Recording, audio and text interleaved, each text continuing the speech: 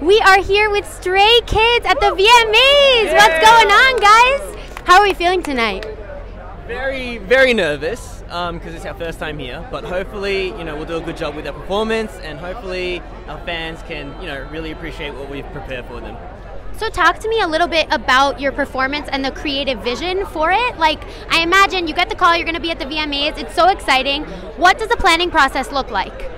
I mean, um, because it's the VMAs, we didn't just want to show what we've already done. So we wanted to spice things up a little bit. So we, you know, prepared this and that, Remixed little a differences, Yeah. yeah, remixes. So you'll have to see to find out.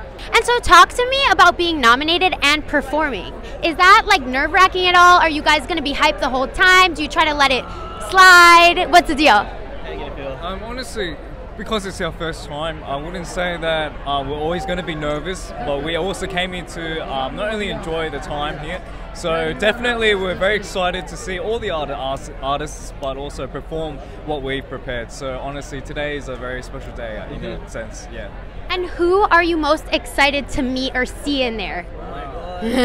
Um, a lot of us uh, do really want to see um, Lil Wayne. Um, there's Olivia Rodrigo. You know, there's Minaj. Metro Boomin, Metro. Nicki Minaj. So yeah, a lot of great artists here tonight. Yeah, so, because yeah. you know we grew up listening to them, so to meet them here, it's like dream come true. Well, incredible. It's a dream come true for me to meet you guys. Thank you so much. Have the best time in there. Have fun. Break a lot of legs.